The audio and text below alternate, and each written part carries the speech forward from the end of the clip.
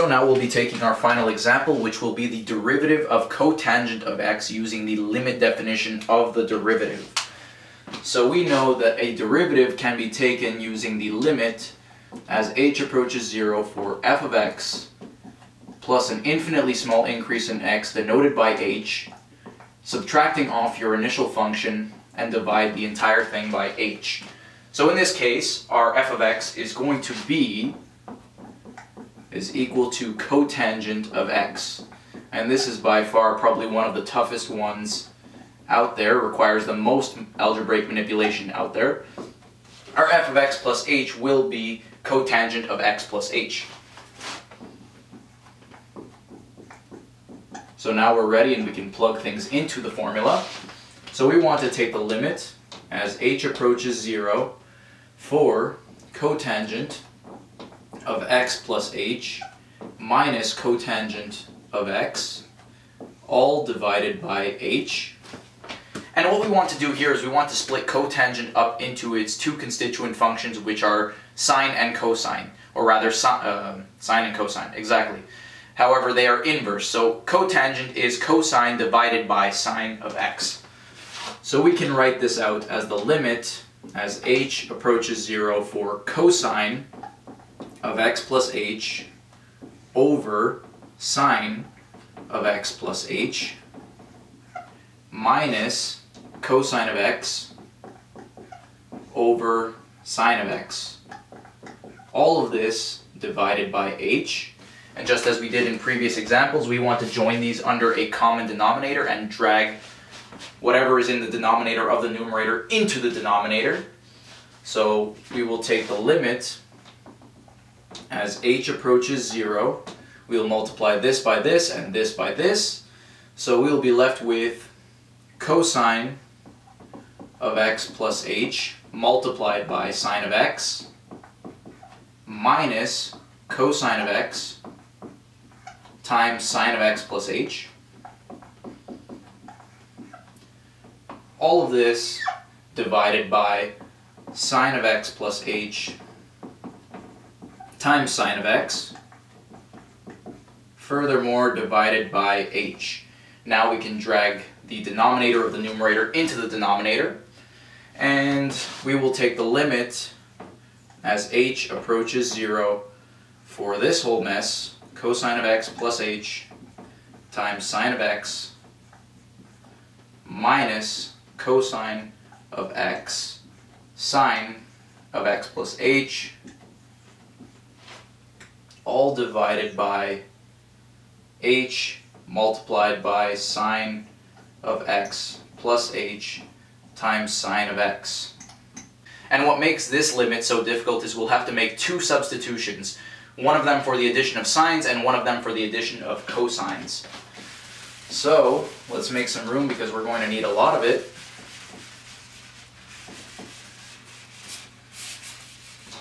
The addition of sines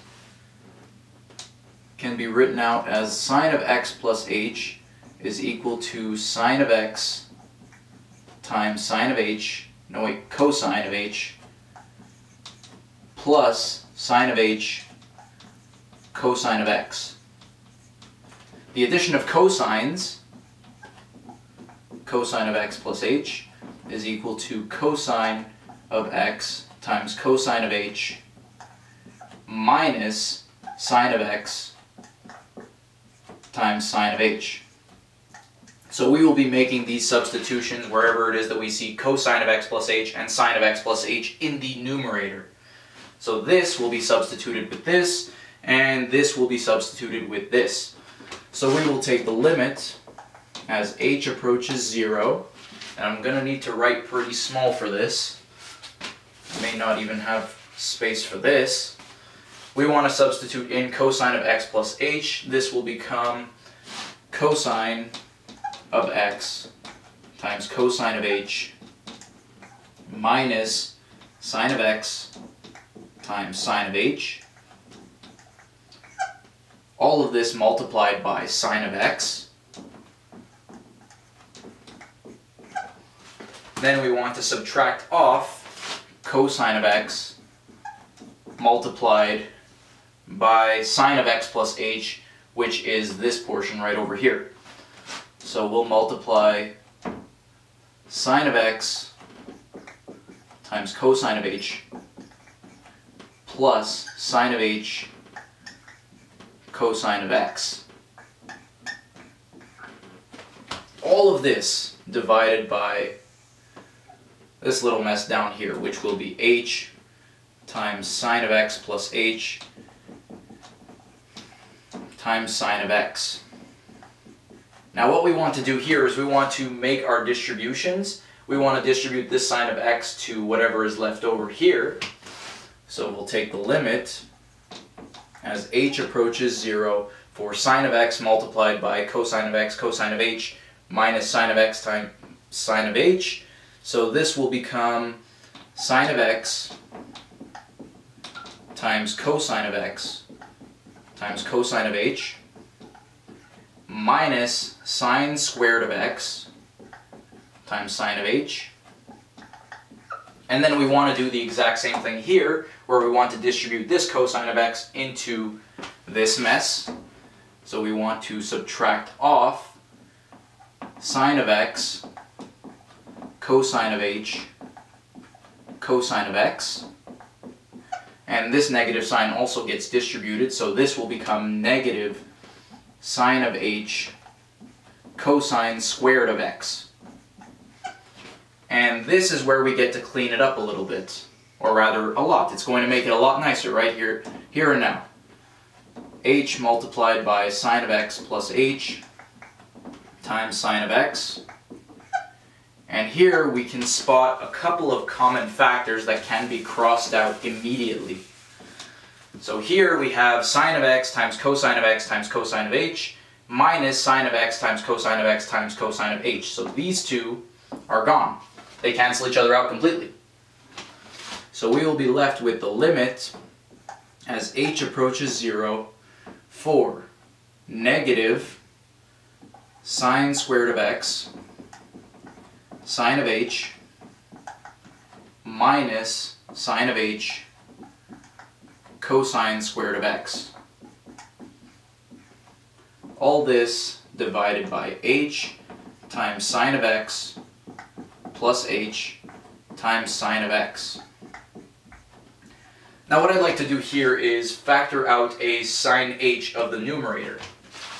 So if I were to do that, we would take the limit as h approaches 0 for sine of h multiplied by negative sine squared of x minus cosine squared of x.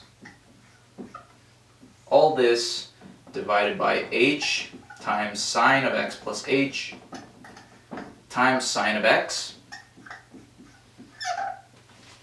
And here, this is one of the limits that we should be very familiar with at this point. The limit as h approaches 0 for sine of h over h will go straight to 1. Because this goes straight to 1, we can rewrite this as the limit as h approaches 0 for negative sine squared of x minus cosine squared of x over sine of x plus h times sine of x. And finally, what I'd like to do is factor a negative sign out of the numerator. So this will leave me with the limit as h approaches 0 for negative sine squared of x plus cosine squared of x over sine of x plus h times sine of x and we know that sine squared of x plus cosine squared of x is a trigonometric identity and that these two terms are simply equal to 1. So let's clean up. We're almost done here.